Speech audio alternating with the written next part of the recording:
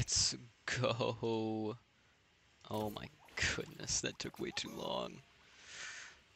Oh man.